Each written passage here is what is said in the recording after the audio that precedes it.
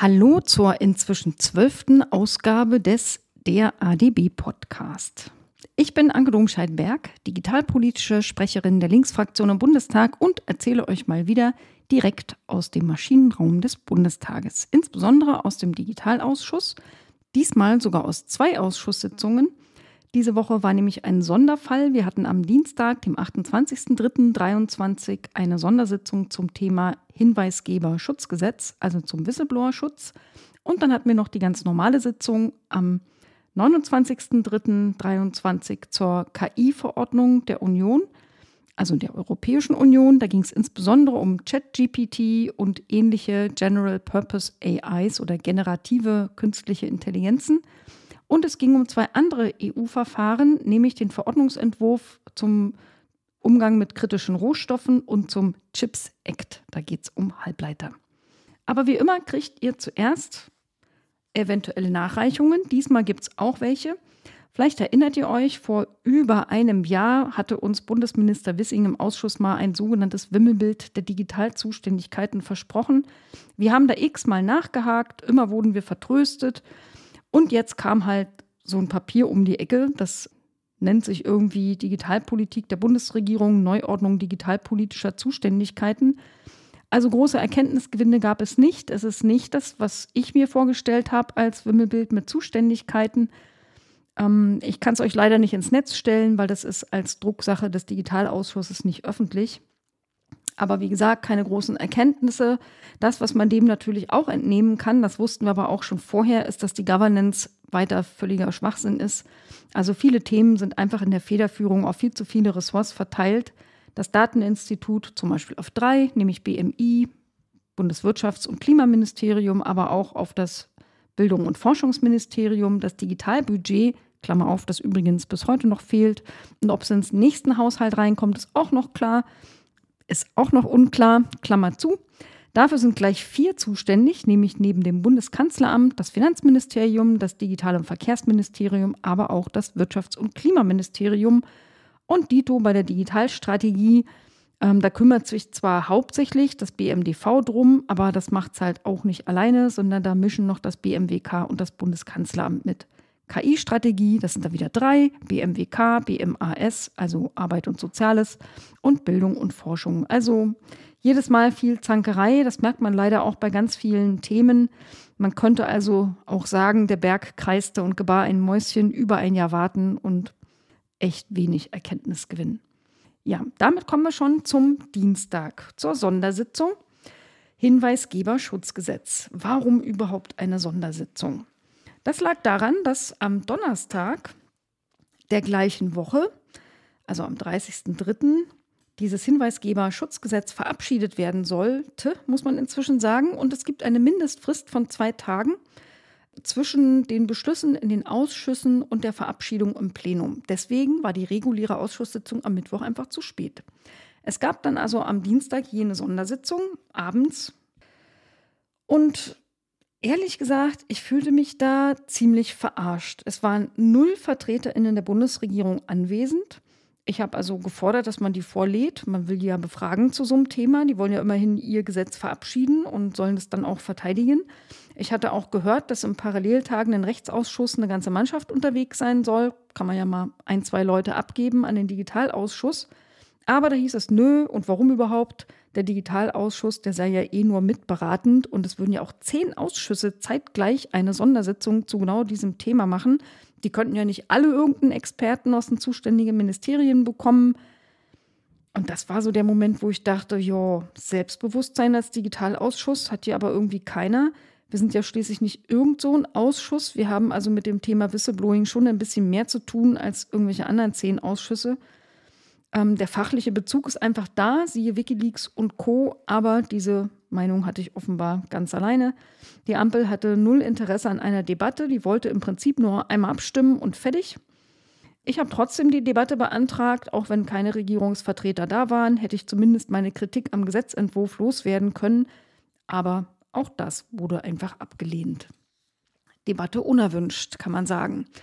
Die Ausrede, dass wir ja nur mitberatend sind und deshalb bräuchte man keine Debatte, ist sowieso gaga in der letzten Legislatur, waren wir in vier Jahren genau drei oder viermal federführend. Und natürlich haben wir trotzdem in jeder Sitzungswoche jede Menge Debatten zu allen möglichen wichtigen Themen geführt. Also kein Argument. Dem Wunsch auf Debatte abzulehnen, übrigens, das ist auch sehr, sehr ungewöhnlich, ist mir vorher noch nicht passiert. Es war eigentlich Usus, wenn eine einzelne Fraktion auf einem Debattenwunsch besteht, dass man dem auch stattgibt. Man hat dann natürlich wenn man so richtig keinen Bock hatte, als andere Fraktionen die Redezeit sehr gekürzt. Im schlimmsten Fall kriegte man dann eine Minute pro Fraktion.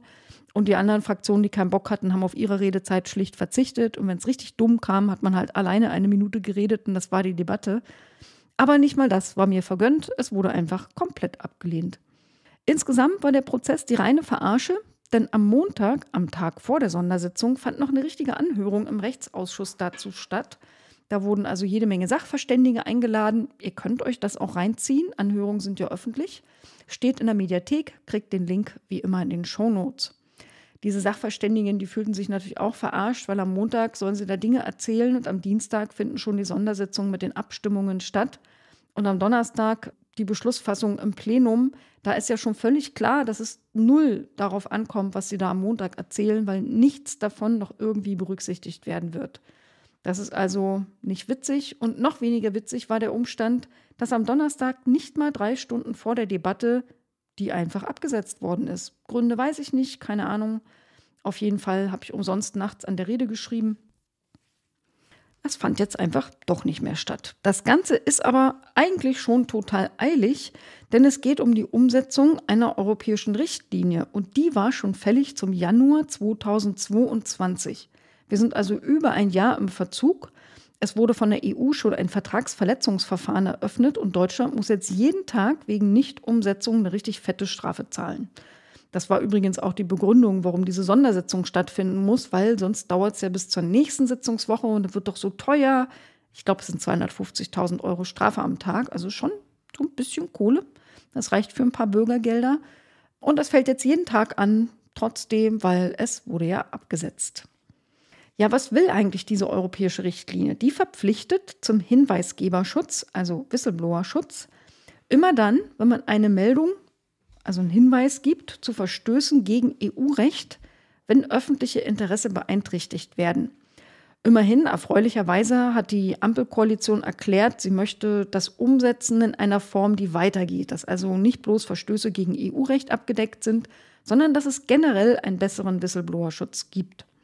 Diese Richtlinie ist schon 2019 in Kraft getreten. Daraufhin wurde sie mehrere Jahre von der GroKo eifrig ignoriert. 2020 haben wir in der Linksfraktion noch zwei kleine Anfragen dazu gestellt, weil wir mal wissen wollten, wann kommt sie denn eigentlich und wie wird sie umgesetzt.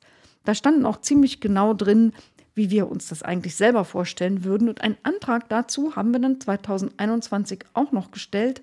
Könnt ihr euch, wenn es euch interessiert, auch in den Shownotes nochmal genauer angucken. Im Koalitionsvertrag wurde also dann die möglichst schnelle und sehr weitgehende Umsetzung versprochen. Die Ankündigung da klang wie vieles andere eigentlich auch voll nett.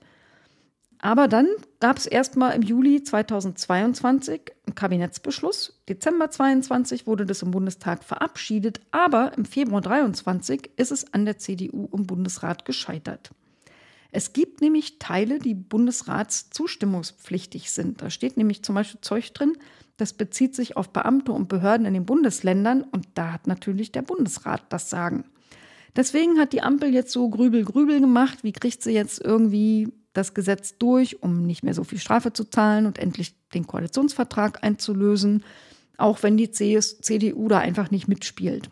Also hat man das Gesetz in zwei Teile gehackt und hat also den Teil, der Bundesrats zustimmungspflichtig ist, abgespalten und Ergänzungsgesetz genannt und hätte die jetzt getrennt verabschiedet und dann hätte man auf jeden Fall erstmal diese europäische Richtlinie umgesetzt, keine Strafe mehr gezahlt und wäre vielleicht mit dem zweiten Teil im Bundesrat wieder gescheitert. Aber zumindest wäre der Anreiz für die CDU dann kleiner, den Aufstand zu proben, weil das Gesetz wäre ja dann da. Inhaltlich war dieses Gesetz aber komplett das gleiche wie das, was im letzten Sommer vom Kabinett beschlossen worden ist. Und weil das halt leider nicht besonders gut gelungen ist, erzähle ich euch meine Kritik am Bundesgesetz jetzt trotzdem. Im Ausschuss durfte ich das ja nicht. Mir ist das Thema übrigens aus verschiedenen Gründen besonders wichtig. Vielleicht weiß es ja der oder die eine oder andere bei euch schon. Ich bin verheiratet mit Daniel Domscheit-Berg. Der war Sprecher von Wikileaks und hat mit Julian Assange zusammen Wikileaks aufgebaut. Das war die wichtigste Plattform für anonymes Whistleblowing ähm, seiner Zeit. Das ist ja inzwischen schon 13 Jahre her. Und ich erinnere mich noch wirklich gut, wie ich nachts am Wohnzimmertisch gesessen habe und wie ich mitgeholfen habe, zu dem äh, sogenannten Collateral Murder Video die Untertitel zu schreiben oder persönliche Angaben, also personenbezogene Angaben in Dokumenten zum Love Parade Desaster in Duisburg äh, zu schwärzen, bevor sie dann in die Wikileaks-Plattform hochgeladen werden konnten. Da habe ich also meine Nächte verbracht in einem isländischen Urlaub 2010. Naja, nochmal zu dem Video von äh, das Collateral Murder Video. Das äh, wisst ihr bestimmt. Wenn nicht, erzähle ich es euch gerade, dass das seinerzeit Chelsea Manning, Ex-Soldatin der US-Armee, an Wikileaks äh, geleakt hatte. Ein Video, das zeigt, dass afghanische Soldaten aus einem Helikopter heraus wirklich aufs Übelste, sehr brutal einen Reuters-Journalisten, aber auch andere ZivilistInnen und sogar Kinder einfach erschossen, man kann auch sagen, ermordet haben, also wirklich einfach zerfetzt haben von diesem Heli. Und man hatte auch eine Tonspur und man hört, dass sie bei dieser Art Kriegsverbrechen auch noch richtig äh, Spaß gehabt haben. Das war also wirklich unerträglich. Und das ging halt an die Plattform Wikileaks, die damals eigentlich fast die einzige Möglichkeit war, sicher Whistleblowing zu machen, denn Schutzgesetze hat es ja nicht gegeben. Und dieses Hinweisgeberschutzgesetz, das soll jetzt also endlich Whistleblower vor möglichen Repressionen schützen. Es soll Hinweis geben, einfacher und rechtssicher machen. Und das ist total wichtig und super gut, aber leider nope, nicht mit diesem Gesetz. In dem Gesetz steht zum Beispiel eine ellenlange Liste drin mit allen Arten einzeln aufgezählten Rechtsverstößen, die davon abgedeckt sind, also wenn man zu diesen Themen whistleblowt. Und alles, was dann nicht erwähnt ist, ist also auch nicht davon abgedeckt. So viel zu Whistleblowing einfach gemacht. Also offenbar erwartet irgendjemand, dass man sich so ein zig Seiten langes Gesetz als Whistleblower vornimmt und da erstmal Seite für Seite durchgeht, um zu gucken, ob der zu melden Rechtsverstoß da eventuell drin vorkommt oder nicht und was mache ich, wenn nicht. Außerdem stehen da so Sachen drin wie nur wenn das öffentliche Interesse beeinträchtigt wird. Da steht also nicht zum Beispiel, wenn die Offenlegung im öffentlichen Interesse liegt. Und diese kleine, man könnte denken, ist doch egal, beeinträchtigt oder liegt im öffentlichen Interesse. Das bedeutet aber, wenn öffentliches Interesse beeinträchtigt wird, dann ist es quasi so eine Art Gefahrenabwehr. Ich muss also einen Schaden, der bedroht zu entstehen oder der gerade entstanden ist, den möchte ich unterbinden. Das heißt aber, dass alles nicht abgedeckt ist davon, was der Vergangenheitsaufklärung dient. Also wenn zum Beispiel ein Opfer sexualisierter Gewalt aus dem Umfeld der katholischen Kirche kommt und erzählt von Übergriffen, die vor zehn Jahren passiert sind, und ist vielleicht noch Arbeitnehmer oder Arbeitnehmerinnen bei der katholischen Kirche, sind die leider nicht geschützt. Und das ist natürlich komplett bekloppt. Deswegen hatte zum Beispiel Transparency International empfohlen, dass es viel, viel sinnvoller ist, statt solcher Listen mit x Ausschlüssen zu haben, einfach zu schreiben, alle Rechtsverstöße und sonstigen Fehlverhalten, deren Meldung bzw. Offenlegung im öffentlichen Interesse liegen, die sollen von diesem Gesetz erfasst sein. Das hätte Sinn gemacht, das wäre einfach gewesen und das ist es leider nicht. Tatsächlich gibt es jetzt mit diesem Gesetzentwurf sogar Widersprüche zu existierenden Gesetzen. Es ist also auch nicht rechtssicher. Das ist ein leider nicht gehaltenes Versprechen. Zum Beispiel gibt es ein Geschäftsgeheimnisschutzgesetz, das für gleiche Sachverhalte eine andere Behandlung hat. Also zum Beispiel darf man dabei Fehlverhalten bestimmte Dinge an den Medien melden und ist da quasi geschützt vor Konsequenzen, und das ist nach diesem Whistleblower-Schutzgesetz leider nicht der Fall. Also da hängt es dann wahrscheinlich vom Richter ab, welchen Paragraph, aus welchem Gesetz er sich da zieht.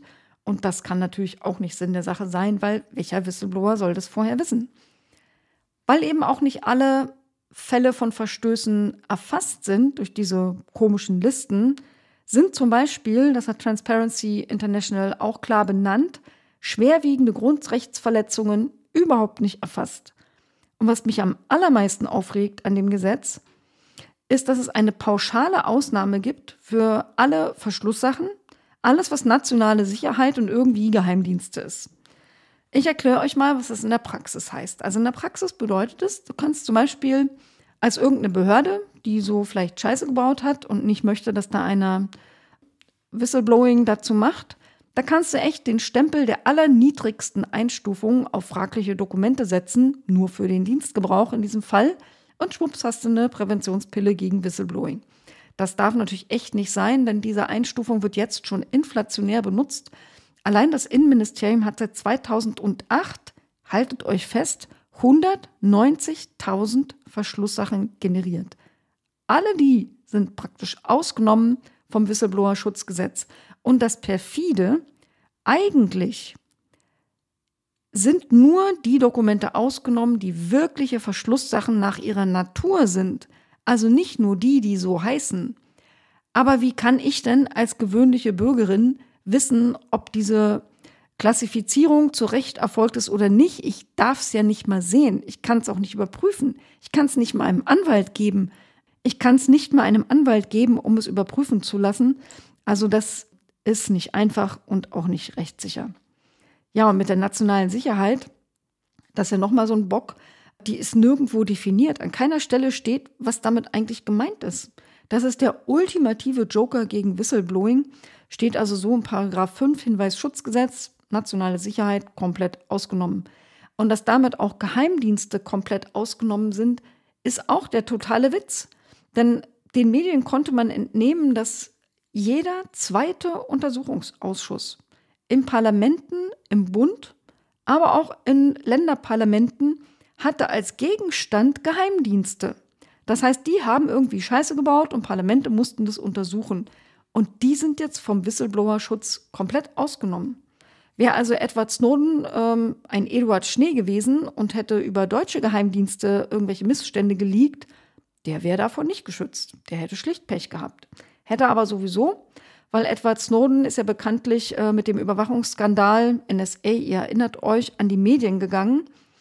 Und auch damit ist er nicht geschützt mit äh, diesem Gesetzentwurf. Da verlieren nämlich Whistleblower fast immer den Schutz, wenn sie sich an Medien wenden. Es gibt nur sehr wenige Möglichkeiten, wo das okay ist. Man muss also immer zuerst an irgendeine Meldestelle gehen und erst wenn dort ziemlich lange nichts passiert, unter bestimmten Voraussetzungen kann man dann an die Medien gehen. Damit wäre auch Frances Hogan nicht geschützt. Die kennt ihr bestimmt auch noch. Das war die Whistleblowerin von Facebook. Aber Frances Hogan wäre so oder so nicht durch dieses Gesetz geschützt. Sie ist zwar Whistleblowerin, Blowerin, aber das war ja gar kein Rechtsverstoß. Das war ja nur ein Fehlverhalten. Und natürlich gab es massives öffentliches Interesse, das hat man ja mitgekriegt. Der hat auch in Untersuchungsausschüssen ausgesagt zu diesem Thema, aber dieses Gesetz hätte sie nicht geschützt. Und ehrlich gesagt, ob ein Rechtsverstoß vorliegt oder nicht, dazu braucht es ganz oft Gerichte. Das kann überhaupt nicht jede Einzelperson völlig klar feststellen. Also ehrlich gesagt, das ist wirklich total daneben. Und der Umstand, dass Whistleblowerinnen so selten an die Medien gehen können, ohne den Schutz zu verlieren, das ist auch eine eklatante Einschränkung ihrer Meinungsäußerungsfreiheit und auch der Pressefreiheit. Pressefreiheit äh, hat ja zum Beispiel, äh, ist darauf angewiesen, dass es Quellen gibt, die bestimmte Missstände erzählen. Und diese Quellen, die riskieren dann den Schutz als Hinweisgeber über dieses Gesetz, wenn sie mit der Presse reden.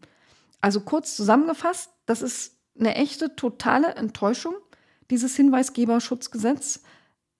Es wäre aber trotzdem immer noch besser als gar kein Schutz. Jetzt haben wir also immer noch weiterhin gar keinen Schutz. Dieses Gesetz hätte das Versprechen aus dem Koalitionsvertrag der Ampel gar nicht umgesetzt. Alles total daneben. Ehrlich gesagt, äh, mich kann die Ampel trotzdem nicht mehr enttäuschen. Ich bin damit schon durch. Das wisst ihr wahrscheinlich inzwischen. Ja. Naja, also damit haken wir das Thema Hinweisgeberschutzgesetz vorerst ab. Vielleicht kommt es ja nochmal. Und jetzt kommen wir erst zur regulären Sitzung. Die hat am 29. März stattgefunden.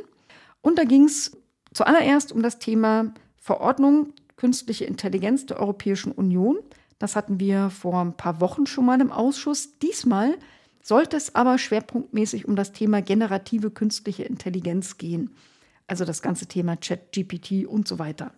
Das war sogar auf meinen Antrag hin ein öffentlicher Tagesordnungspunkt.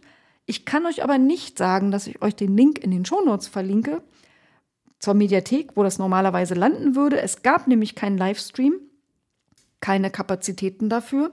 Ich hatte also angeboten, dass man da einfach auf dem Stativ, weiß ich, ein iPad oder ein, Handy oder sowas hinstellt und damit einen Livestream macht, ist ja jetzt echt keine Hexenkunst mehr im Jahre 2023. Hätte man tun können. Das wurde abgelehnt. Auch die Bundestagsverwaltung war damit nicht happy. Aber es gab vom Sekretariat eine Notaufzeichnung auf WebEx und man will zumindest versuchen, das später noch online zu stellen. Ob es klappt, weiß ich aber nicht. Falls es klappt, stelle ich euch dann später noch einen Link da rein. Ja, ich habe, äh, da es schon mal im Digitalausschuss war, das generelle Thema künstliche Intelligenzverordnung, könnt ihr im Podcast Nummer 8 nachhören. Der wird natürlich unten verlinkt. Und in dieser Regulierung allgemein geht es darum, sämtliche KI-Systeme zu regulieren, die in Europa, also in der Europäischen Union, auf den Markt kommen. Es soll also sichergestellt werden, ne, hehre Ziele, dass diese KI damit ethisch ist, also nicht diskriminiert zum Beispiel, dass sie rechtskonform ist, also zum Beispiel nicht gegen Datenschutzgrundverordnung und andere Dinge verstößt und sicher soll sie natürlich auch sein. Sie soll Vertrauen in KI-Systeme entwickeln, Bürger schützen, aber gleichzeitig Innovationsräume eröffnen.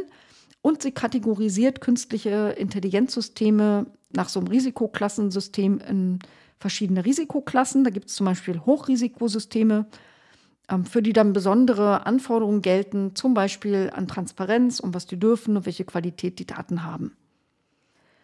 Ja, da läuft das Verfahren schon relativ weit in der Europäischen Union, aber gerade hat es durch das krasse Aufkommen von ChatGPT in den letzten Wochen noch mal eine Vollbremsung gekriegt.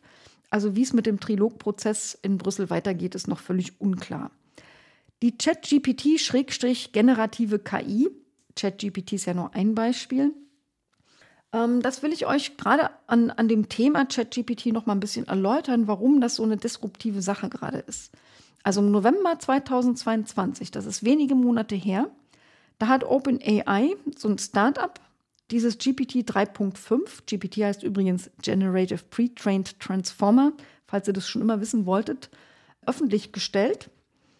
Das ist also ein sprachbasiertes, man sagt so Large Language Model, also ein Sprachsystem, mit dem kannst du einfach hin und her chatten und es beantwortet dir im Prinzip jede Frage relativ intelligent nicht immer 100 Prozent, aber schon ziemlich cool. Und am 14. März, also vor kurzem in diesem Jahr, kam GPT-4 auf den Markt. Und damit kannst du unendlich viele Dinge mehr als noch im November mit diesem GPT 3.5. Du kannst also nicht nur Text da reingeben, du kannst auch irgendwelche Fotos hochladen, Skizzen, Scribbles mit einem Bleistift, Bildbeschreibung kannst du reinmachen, du kannst PDFs hochladen und das Ding kann das dann lesen, interpretieren oder Dinge damit tun. Du kannst zum Beispiel mit einem Stift auf dem Papier skribbeln und sagen, hier, mach mal aus dieser kleinen groben Zeichnung auf Papier eine Webpage und dann programmiert es dir eine Webpage. Fix und foxy. Kannst auch vom Mathebuch ein Foto machen und sagen, löse mal diese Matheaufgabe. Das kann dieses Foto interpretieren, die Matheaufgabe extrahieren und lösen. Ganze Bücher kann es zusammenfassen. Es kann inzwischen Examensprüfungen mit Auszeichnungen bestehen. Es kann komplizierte Steuergesetze interpretieren. Und weil das halt so viel kann, sind die Userzahlen auch explodiert. Es gab also noch nie eine Anwendung in der Welt im digitalen Bereich, die derart schnell gewachsen ist. Noch nie. Eine Million User in fünf Tagen. Im Januar 2023 waren es schon über 100 Millionen User. Und Ende November kam es ja überhaupt erst. Also das ist schon echt krass. Und es könnte natürlich auch sein, dass hier wieder ganz große neue Monopole entstehen.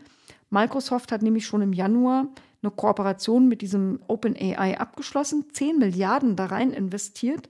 Und es soll das Ganze auf einer exklusiven Cloud laufen, die zufällig eine Microsoft Cloud ist, also Azure. Azure. Und es soll auch in das Office, Microsoft Office Abo integriert werden irgendwann. Jeden Tag, wenn man mal so ein bisschen auf Twitter oder woanders guckt, hört man, was es da so an neuen disruptiven Ideen gibt. Und ehrlich gesagt, unsere Gesellschaft ist wirklich nicht darauf eingestellt, wie schnell sich das alles entwickelt. Man kann da Quellen in der Regel nicht überprüfen. Inhalte kommen total überzeugend drüber. Unser Bildungssystem ist hoffnungslos überfordert. SchülerInnen nutzen das schon massenhaft, nicht nur für Hausaufgaben. Lehrkräfte haben überwiegend keine Ahnung davon und wissen auch nicht, wie sie damit umgehen sollen. Wir haben ein Potenzial massenhafter Deepfakes als Videos, als Audio, als Bild. Es erfordert also nichts mehr. Das kann jetzt echt jeder. Wir haben gefakte wissenschaftliche Studien, die so kompliziert geschrieben sind, mit gefakten Quellen, dass es also selbst Wissenschaftler nur sehr schwer feststellen können, was daran jetzt stimmt oder nicht. Und wir können eine massenhafte Erzeugung nicht nachvollziehbarer KI-generierter Inhalte haben, die dann wiederum Input für andere KI werden, die das dann verarbeitet. Und dann hat man so ein Perpetuum mobile von exponentiell wachsenden Inhalten, deren Quellen eigentlich gar keiner mehr kennt. Ja, das ist halt wirklich schwierig.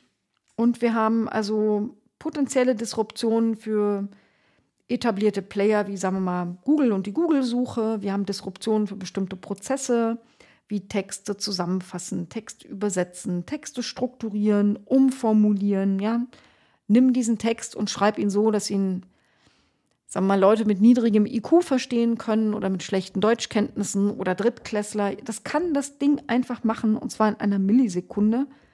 Du brauchst keine Leute mehr zum Reden schreiben. Ja, Im Europäischen Parlament wurde schon im Februar eine von ChatGPT geschriebene Rede gehalten. Übrigens zum Thema künstliche Intelligenz.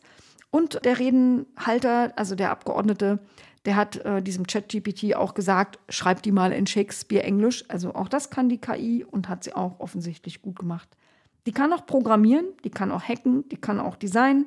Die wird ganze Berufe, Unternehmen und Plattformen kaputt machen, insbesondere weil es neuerdings auch Kombinationen gibt mit anderen generativen KIs, die zum Beispiel Bilder generieren können oder Videos generieren können weil es ganz viele neue APIs, also Schnittstellen gibt, wo man zum Beispiel eine Bestellplattform integrieren kann. Das heißt, du sagst dieser Chat-Plattform, mach mir mal einen Speiseplan für Veganer, die aber kein Brokkoli mögen. Und dann kommt da halt ein Speiseplan raus, dann sagst du, mach mir mal eine Einkaufsliste draus, dann kommt die Einkaufsliste und dann sagst du, bestell mir das mal bei dem und dem Bestellservice. Und wenn der ein Plugin hat, ähm, dann kommt es halt gleich als fertige Bestellung, brauchst eigentlich nur noch klicken. Also das verändert schon wirklich, wirklich viel und zwar gerade täglich. Und dann haben wir noch das große Thema Nachhaltigkeit, denn obwohl die Server ständig überlastet sind, jeder will das coole Zeug immer ausprobieren, war der Stromverbrauch durch ChatGPT allein im Januar so hoch wie von 3000 durchschnittlichen EU-Haushalten. Also es läppert sich dann schon, wenn es alle für alles quasi benutzen. Und weil das alles gerade so schnell geht und uns alle überrollt, haben auch in dieser Woche eine ganze Reihe globaler, sehr bekannter WissenschaftlerInnen und Tech-Leader ein Moratorium gefordert und eine Pause bei dieser rasanten KI-Entwicklung über ChatGPT 4.0 hinaus gefordert. Ja, das war jetzt eine etwas längere Einführung, aber weil das alles gerade so wild ist, war das Bedürfnis darüber zu reden, ob diese aktuelle KI-Verordnung, die in Brüssel verhandelt wird, das überhaupt hinreichend berücksichtigt und was die Bundesregierung da eigentlich für Positionen hat. Wir kriegten also zuerst einmal eine Einführung zum Stand der Verhandlungen. Man wartet da auf die Position des Europäischen Parlaments. Die sollte im Februar kommen, aber wegen allem dem, was ich beschrieben habe, kommt die erstmal nicht. Man erwartet jetzt frühestens Ende Mai einen Beschluss des Europaparlaments. Vorher müssen dann noch zwei Ausschüsse dort drüber bescheiden. Und ja, das wird nicht wie gehofft in der schwedischen Ratspräsidentschaft fertig, sondern erst in der spanischen, wahrscheinlich. Man weiß ja nicht, wie viel sich dann noch ändert und wie lang es am Ende dauert.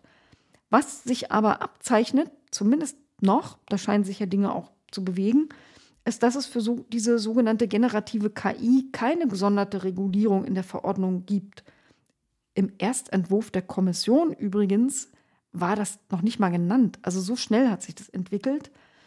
Aber man will es im Moment nicht mit einem extra Paragraph da versehen, sondern man will im Moment einfach die Art der Anwendung darüber entscheiden lassen, wie man sie behandelt. Also wenn so eine generative KI in einem sogenannten Hochrisikokontext eingesetzt wird, dann wird sie halt klassifiziert als Hochrisiko-KI und wenn nicht, dann halt nicht.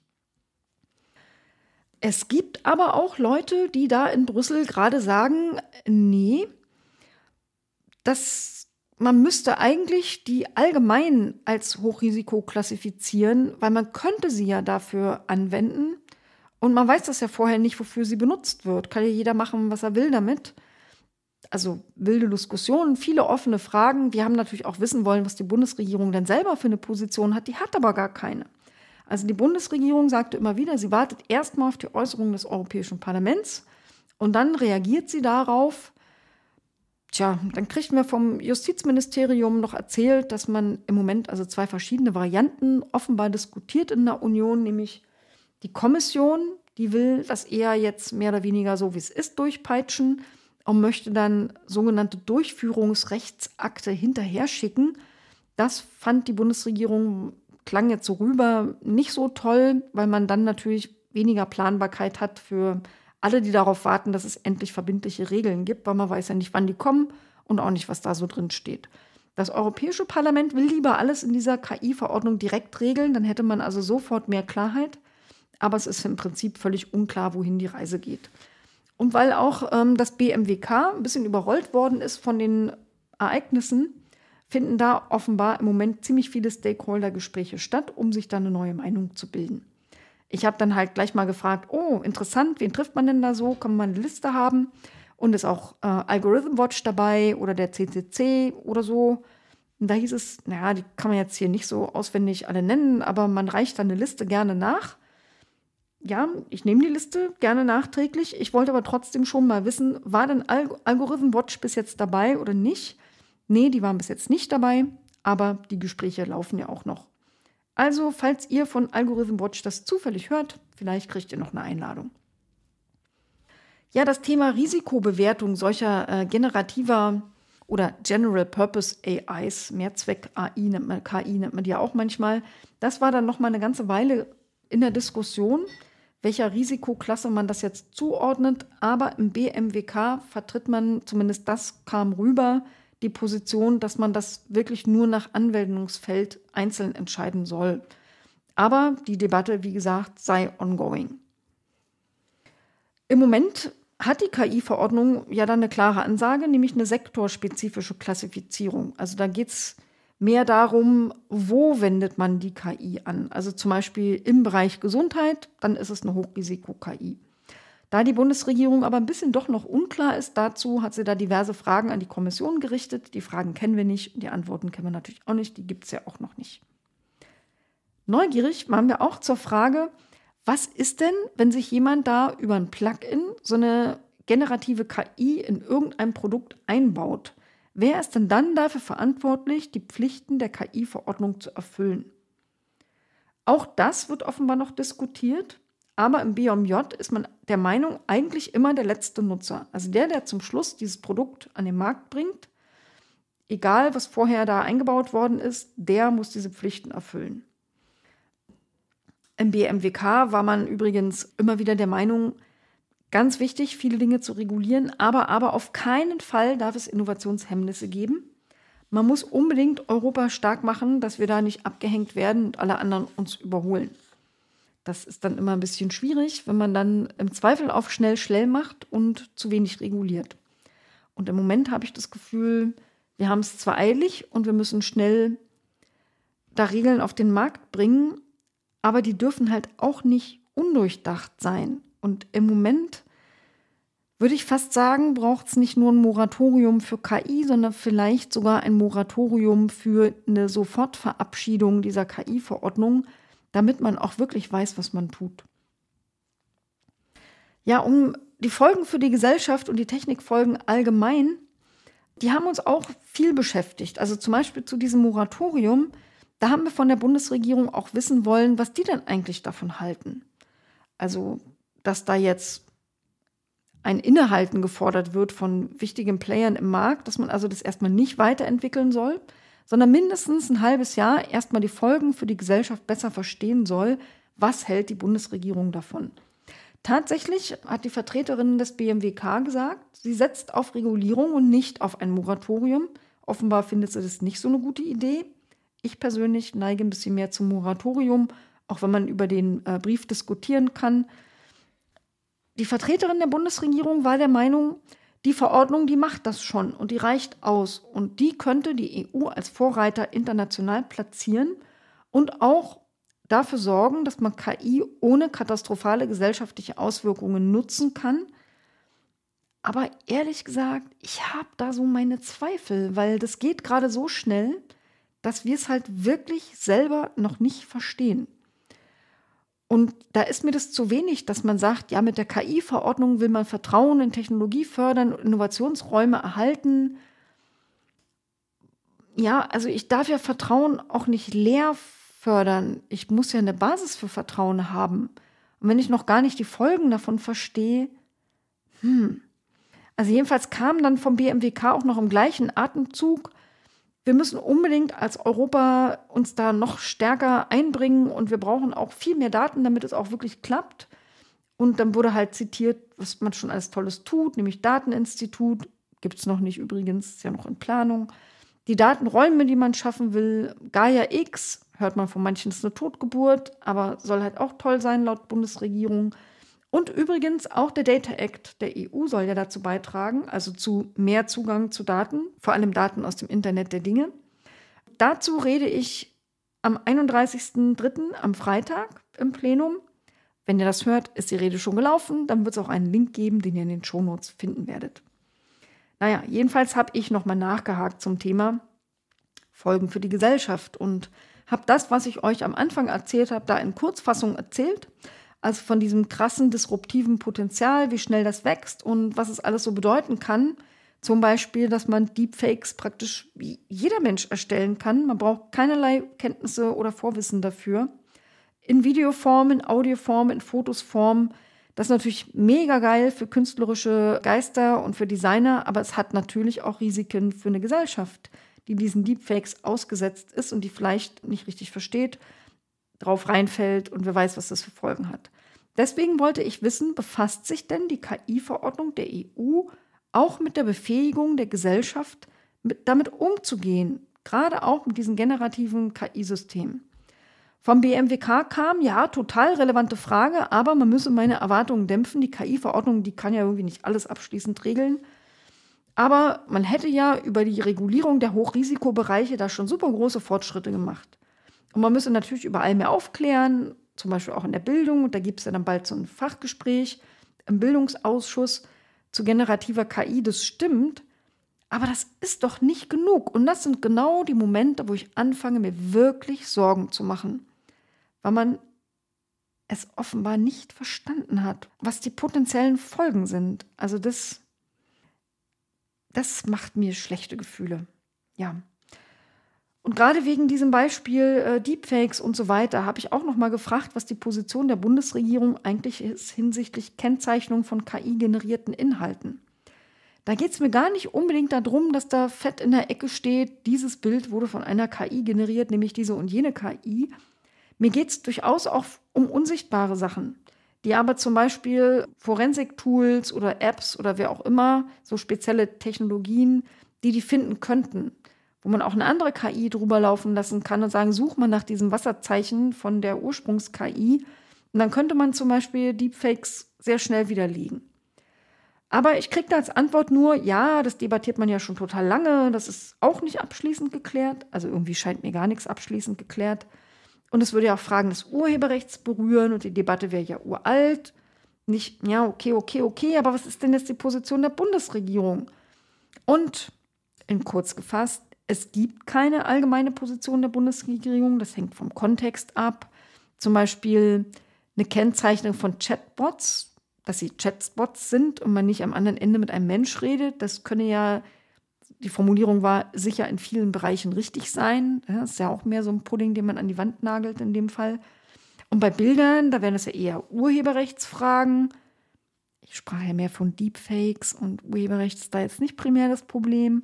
Naja, jedenfalls in a nutshell, keine allgemeine Regelung sei dafür möglich oder ich übersetze mal für euch, man hat da einfach keine Meinung. Ja, zu Deepfakes hat auch noch mal eine andere Abgeordnete nachgefragt. Nämlich steht tatsächlich in Artikel 52, das habe ich neu dazugelernt, in der KI-Verordnung eine Kennzeichnungspflicht für Deepfakes drin. Sanktionen, wenn das nicht gemacht ist, die sollen die Member States machen, also die Mitgliedstaaten. Ja, und dann war natürlich auch die Frage, wie erkennt man die denn? Weil so eine Wasserzeichen, wie ich sie beschrieben habe, gibt es ja noch nicht. Übrigens steht in der KI-Verordnung auch drin, dass es natürlich Ausnahmen gibt. Also wenn man Satire macht oder Fiction macht, vermutlich auch wenn man Kunst macht, dann gibt es da nicht diese Pflicht und dann gibt es auch keine Sanktionen und kein Problem. Aber natürlich stellt sich die Frage A, wie weise ich das nach? Und B, wie unterscheide ich das eine vom anderen, also das Legale und das nicht so Legale. Und auch da ist völlig unklar, wie man das in Deutschland ausgestalten will. Das müsse man, so hieß es bei der Umsetzung in Deutschland, noch berücksichtigen und das beträfe auch die Frage der Sanktionen. Eine Nachfrage zum Thema Urheberrechtsbezug und Datenschutz. Müsse man da irgendwas jetzt neu regulieren? Das BMJ hat sich dazu geäußert und gesagt, man kann erst, wenn der endgültige Text vorliegt, von dieser KI-Verordnung, die jetzt ja gerade auf Eis liegt, dann erst könne man die nehmen und mit dem existierenden Datenschutz und Urheberrecht abgleichen. Dann erst würde man sehen, ob es noch irgendwelche Lücken gibt oder nicht.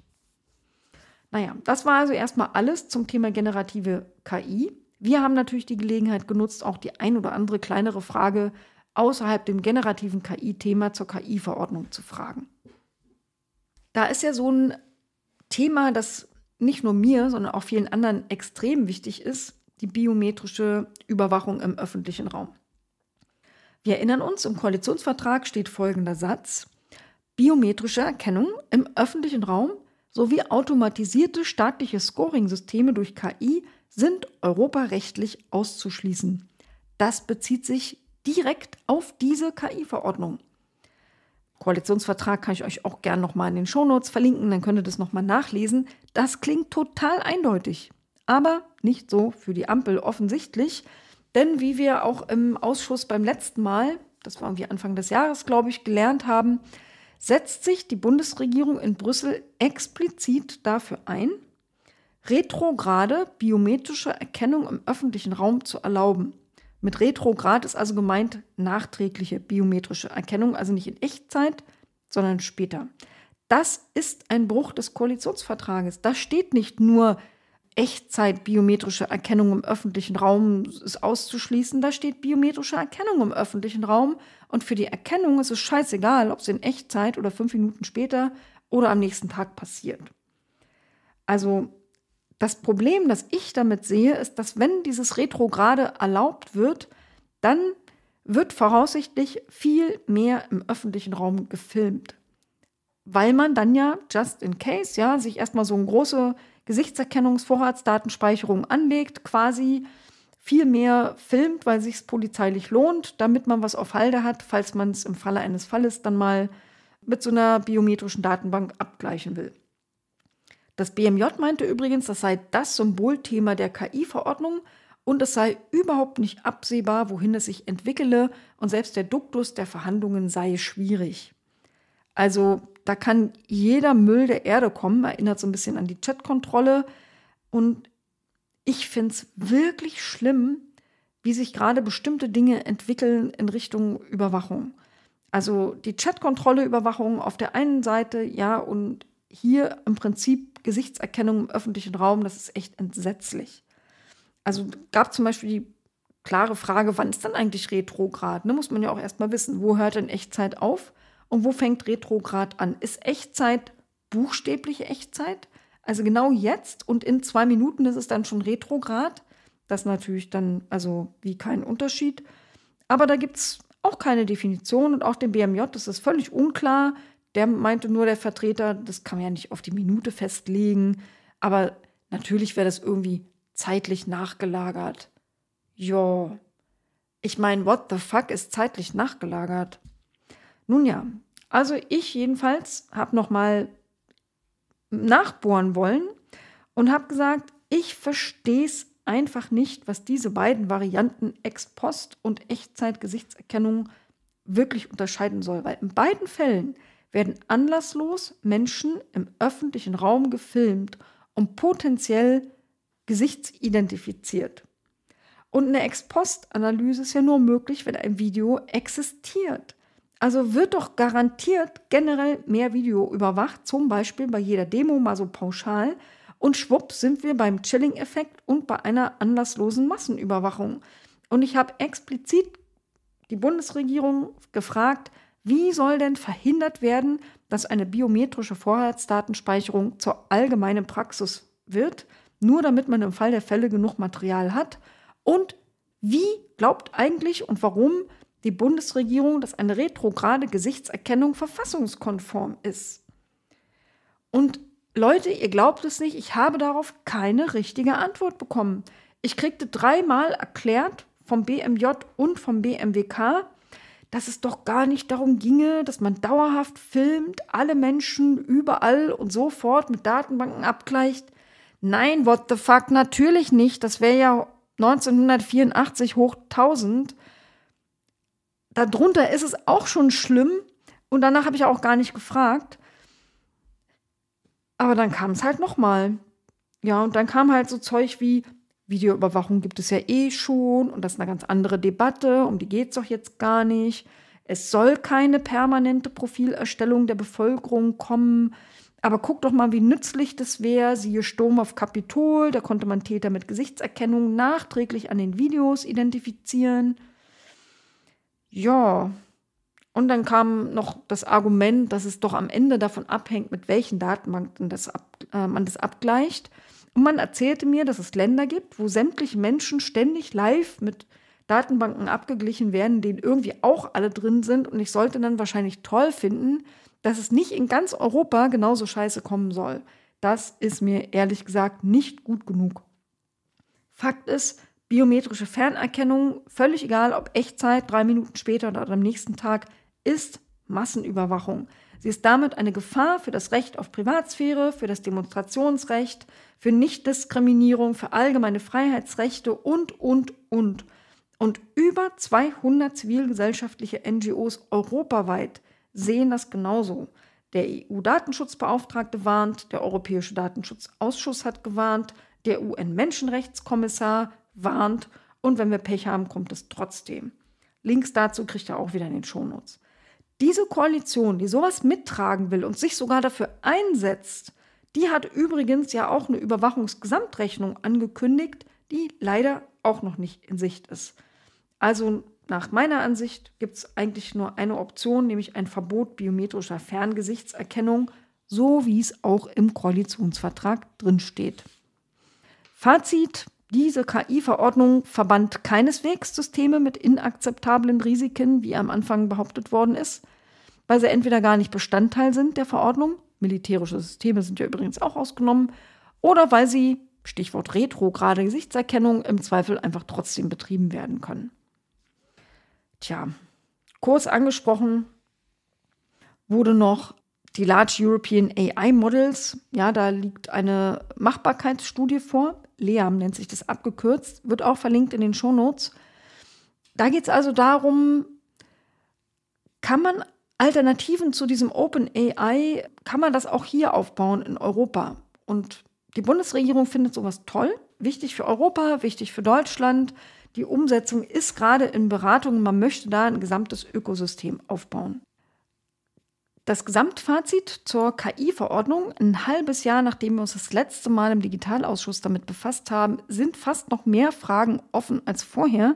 Und zwar nicht bloß wegen der neu dazugekommenen oder sich stärker entwickelnden generativen KI. Es gibt immer noch keine Klarheit zur Gesichtserkennung im öffentlichen Raum. Die Ampel ist offensichtlich bereit zum Koalitionsbruch ohne irgendeinen erkennbaren Schmerz. Und es ist ganz offensichtlich, die Entwicklung wirtschaftlicher Potenziale in Europa geht einfach über Gemeinwohl und Gesellschaft und das ist schwierig und beunruhigend. Und damit wechsle ich das Thema. Wir bleiben aber bei europäischen Verordnungen. Jetzt kommt nämlich der Critical Raw Materials Act, eine EU-Verordnung über kritische Rohstoffe. Die haben wir im Digitalausschuss gemeinsam mit dem Chips Act, also der Halbleiterverordnung, besprochen. Aber weil es da halt thematisch hin und her ging und das im Podcast natürlich unsinnig und für euch kompliziert ist, habe ich das jetzt einfach in zwei Teile geteilt. Es wurde aber weniger zu diesem kritische Rohstoffe-Act diskutiert, deswegen ist dieser Teil jetzt ein bisschen kürzer. Dieser, äh, diese Verordnung zu kritischen Rohstoffen ist noch in einem super frühen Stadium. Da gibt es also noch nichts von europäischen, vom Europäischen Parlament, es gibt nichts vom Rat, es gibt nur einen aller, allerersten Entwurf der Kommission selbst und den auch erst seit 16. März. Diese Verordnung enthält Inhalte in vier Säulen organisiert. Die erste Säule, die soll europäische Binnenlieferketten stärken. Also zuerst zwei Listen erstellen, nämlich was sind kritische Rohstoffe und was sind künftige strategische Rohstoffe. Also kritische, zum Beispiel Lithium oder seltene Erden und künftige strategische ist da zum Beispiel Kupfer, wo man weiß, der Bedarf steigt, aber die Verfügbarkeit weltweit steigert sich halt nicht beliebig. Man will sich dann aber zum Beispiel auch auf Recycling und Verarbeitung fokussieren. Zweite Säule sind Maßnahmen zum Ausbau europäischer Kapazitäten. Also da will man äh, strategische Projekte entwickeln. Ich nehme an, so Abbau von solchen Rohstoffen, auch in Europa. Man will Genehmigungen vereinfachen, hoffentlich nicht zulasten der Umwelt. Und man will das natürlich mit Geld unterlegen und solche Dinge fördern. Dritte Säule ist, man will Maßnahmen ergreifen zur Vorsorge und zur Verringerung des Versorgungsrisikos. Also dass man zum Beispiel europaweit genau weiß, welcher Mitgliedstaat hat denn von welchem Rohstoff noch wie viele Vorräte und wo gibt es eventuell Engpässe. Und die vierte Säule ist einfach nur Admin, nämlich irgendein so Ausschuss, der das Ganze koordinieren und umsetzen soll. Ziele hat man sich auch festgelegt. In dieser Verordnung stehen also ein paar Richtwerte für äh, die erhoffte Diversifizierung drin. Man möchte 10 Prozent dieser Rohstoffe in Europa primär gewinnen, also selber abbauen. 15 Prozent will man aus Recyclingquellen gewinnen 40 Prozent der Rohstoffe sollen bis 2030 in Europa verarbeitet werden. Das sind im Moment nur 13 Prozent. Also man holt sich viel schon verarbeitet ran. Und es ist der Plan zu erreichen, dass man nicht mehr als 65 Prozent des Jahresverbrauchs der EU an einem strategischen Rohstoff hat, der aus einem einzigen Drittland kommt. Also Abhängigkeit von einem einzigen Land ist sozusagen immer doof. Das teilt man sicher der Grund ist natürlich klar, man hat äh, nicht zuletzt auch durch Corona, aber auch durch Kanäle, die verstopft waren und dann kamen halt die ganzen Containerschiffe nicht durch. Häfen in China hatten geschlossen, ja, da gab es also extreme Lieferengpässe, die ein Riesenproblem waren. Aber es gibt auch immer mehr Länder, die sagen, dass sie vielleicht über bestimmte kritische Rohstoffe Exportstopps verhängen.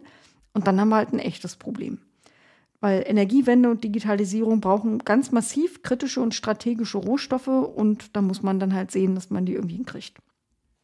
Ja, dann ging es in die Debatte.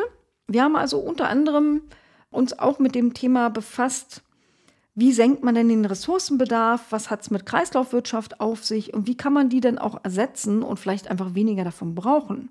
Also das wollte ich zum Beispiel wissen, kommt das Thema Substitution kritischer Rohstoffe mehr als nur marginal in dieser Verordnung vor. So sieht es nämlich auf den ersten Blick aus. Dabei ist es doch eigentlich total wichtig. Also wenn man zum Beispiel schlimm findet, dass man so eine hohe Abhängigkeit von Lithium hat, von Menschenrechten beim Abbau reden wir noch gar nicht und von Umweltschäden, dann macht es doch zum Beispiel Sinn, wie in China das schon passiert, auf Forschung zu setzen, die Batterien auf Natriumbasis entwickelt und produziert und eben nicht mehr auf der Basis von Lithium. Dann brauche ich nämlich einfach weniger Lithium und habe weniger Abhängigkeit.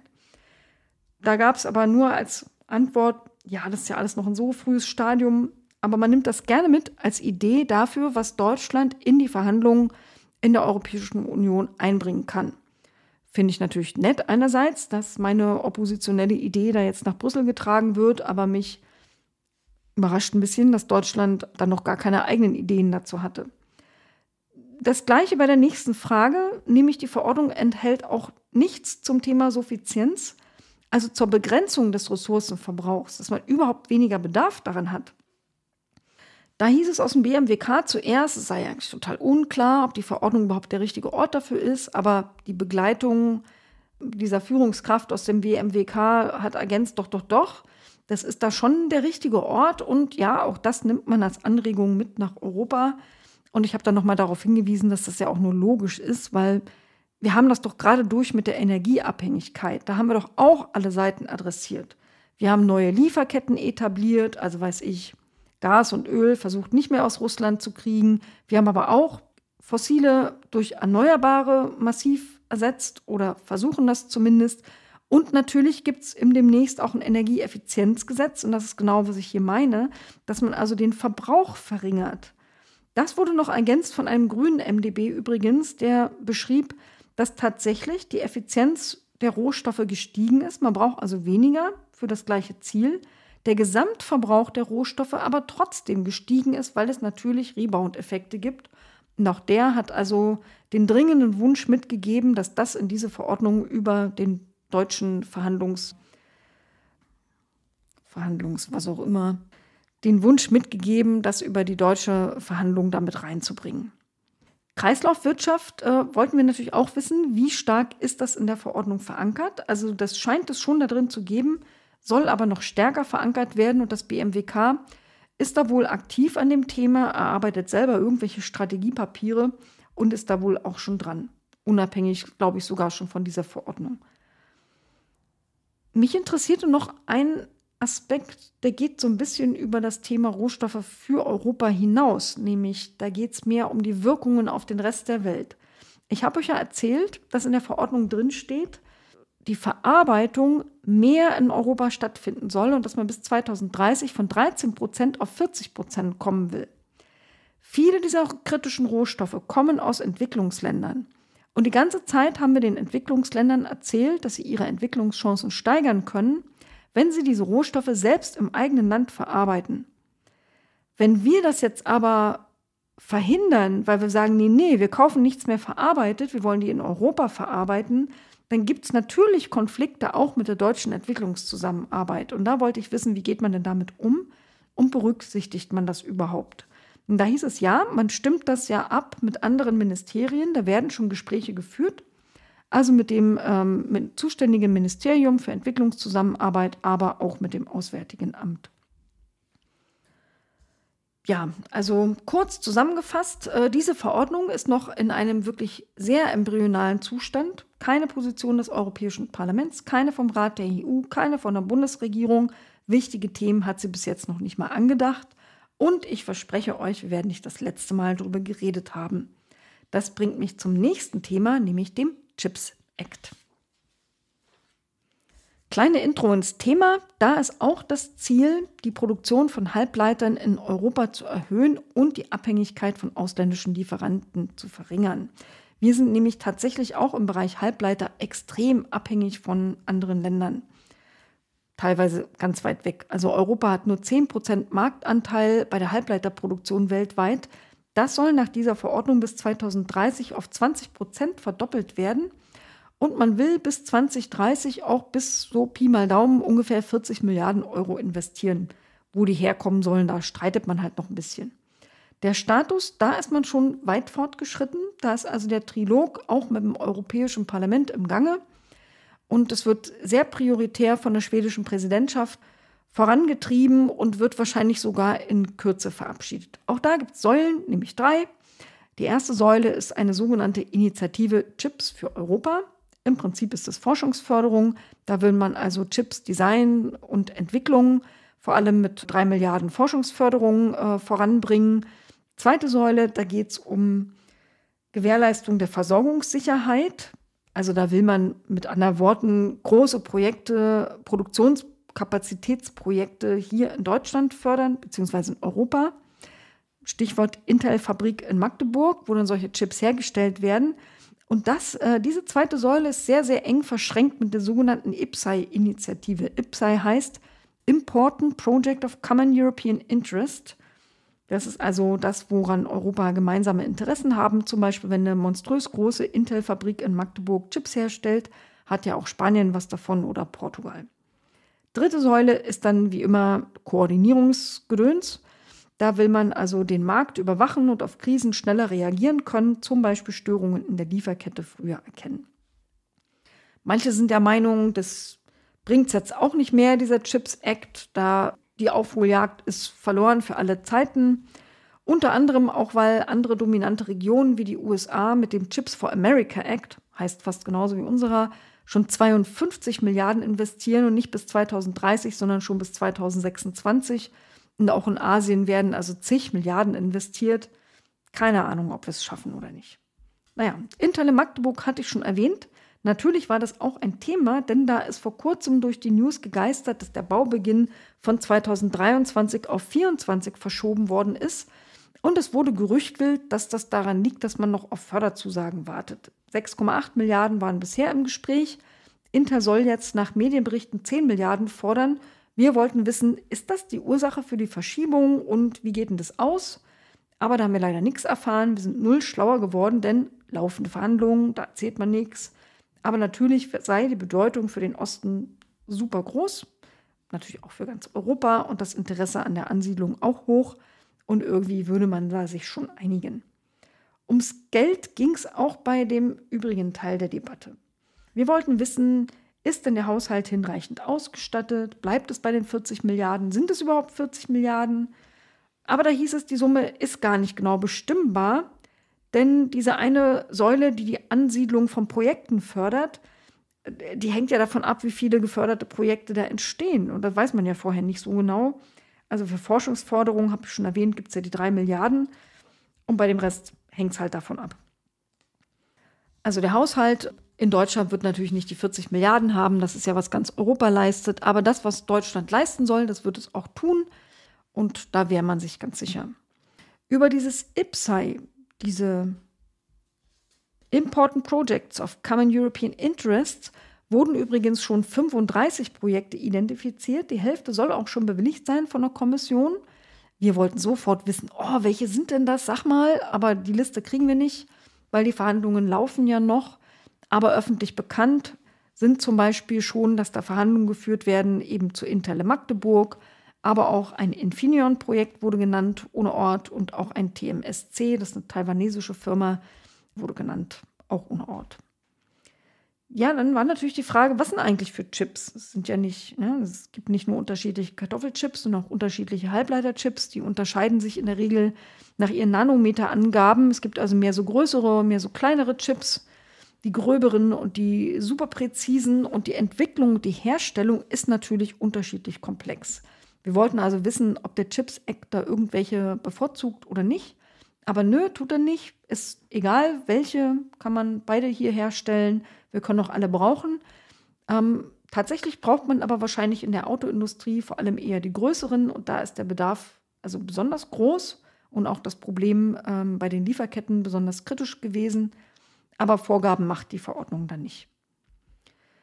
Gefragt habe ich nochmal, wenn Lieferengpässe vorhergesehen werden sollen, dann braucht es ja auch Daten aus den Unternehmen. Also man braucht ja Monitoring. Exporte, Investments, jada jada. Äh, sind denn da Rechenschaftspflichten oder irgendwelche Sanktionen vorgesehen? Und ja, hieß es, Monitoring gibt es sogar schon, ist auch schon im Einsatz. Die Kommission hat sich dann einen Fragekatalog ausgedacht, den hat sie Ende 2022 schon an Zulieferer, Abnehmer und Verbraucher geschickt. Und diese Daten werden jetzt alle ausgewertet und ja, auch Exportdaten sind da drin. Ja, und natürlich kann auch äh, das Thema Fachkräfte nicht fehlen, weil natürlich spielt nicht nur Geld eine Rolle und nicht nur, dass man irgendwo eine Fabrik hinstellt. Irgendwoher müssen ja auch die Leute können, kommen, äh, die das können, was man da braucht an Kompetenz. Sollen die aus dem Ausland kommen? Ja, hieß es. Deshalb gibt es ja die Fachkräftestrategie der Ampel. Deutschland muss da attraktiver werden und die Einwanderung von Fachkräften soll auch einfacher werden. Aber ich habe nochmal nachgefragt, wie sieht es denn aus mit Kompetenzentwicklung im eigenen Land? Also nichts gegen Fachkräfte aus dem Ausland, aber gerade was IT-Berufe angeht, entwickeln wir Talente ja auch nicht früh genug. Also ich habe vorgeschlagen, dass man zum Beispiel überall, wo Schulen sind, Makerspaces verortet, ja, wenn Kinder schon früh lernen, Elektronik zu löten, haben sie ja möglicherweise damit den ersten Schritt in Richtung Chips-Karriere gemacht und wollte wissen, was tut man denn halt dafür. Da hieß es aber nur, ja, total wichtige Frage. Das Fachkräftethema wäre tatsächlich auch im Chips-Act drin, denn es wäre ja eine Anforderung von Unternehmen bei der Ansiedlung.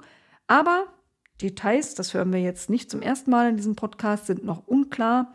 Aber das Thema Fachkräfterekrutierung, das sei natürlich dabei wahrscheinlich Einwanderung oder so, keine Ahnung. Der Bundesregierung sei es aber total wichtig, aber sie wüsste auch noch nicht genau, wie sie es macht.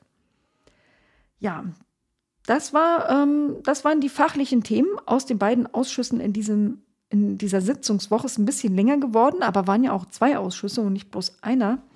Ich habe dann ganz am Ende natürlich noch die Öffentlichkeit für die drei Tagesordnungspunkte des nächsten Digitalausschusses beantragt. Das sind nämlich die drei Themen Registermodernisierung, Stichwort Onlinezugangsgesetz, dann der Stand der IT-Konsolidierung des Bundes mit dem Gast Bundesrechnungshof. Da werden ja gerade Milliarden verschleudert, ohne dass was bei rumkommt. Zum Beispiel weniger Rechenzentren und solche Sachen. Und es soll die EU-Richtlinie wieder mal eine zur Verbesserung der Arbeitsbedingungen in der Plattformarbeit Thema sein. Aber wahrscheinlich habt ihr es schon geahnt, mein Antrag auf Öffentlichkeit wurde abgelehnt. Ich werde euch also wieder ausführlich daraus berichten, damit ihr trotzdem wisst, was da passiert. Und damit habt ihr es jetzt tatsächlich bis ans Ende geschafft. Jetzt gibt es nur noch einen kleinen Ausblick mit Terminhinweisen, nämlich am 26.04. beschäftigt sich der Bildungsausschuss, zu dem auch der Bereich Forschung und Technikfolgen gehört. Ich bin da übrigens stellvertretendes Mitglied mit dem Thema generative KI, ChatGPT etc. Da gibt es ein Fachgespräch. Es gibt noch äh, keine konkrete Ankündigung dazu und ich weiß auch nicht, ob es öffentlich ist. Haltet einfach mal eure Augen und Öhrchen auf. Falls es öffentlich ist, dann könnt ihr es nämlich auch in der Mediathek finden. Am 24. Mai wiederum gibt es im Digitalausschuss eine Anhörung. Die ist auf jeden Fall öffentlich. Die wird den Schwerpunkt generative KI haben. Also das Thema, was wir im Ausschuss besprochen hatten, einmal in lang und mit Sachverständigen. Ja, und ähm, ich habe es, glaube ich, schon mal erwähnt, meine Rede zum Data Act vom Freitag, dem 31.03. zum Antrag der CDU verlinke ich euch auch unten. Dann wünsche ich euch jetzt noch frohe Ostern. Vielleicht erholt ihr euch ein bisschen. Ich verrate euch, dass ich eine Woche Urlaub mache und sogar wegfahre. Und das ist das erste Mal seit vier Jahren, dass ich in den Urlaub fahre. Und auch wenn es nur sechs Tage sind, freue ich mich gigantisch drauf und wünsche euch Bleibt gesund und habt frohe Ostern. Bis dann.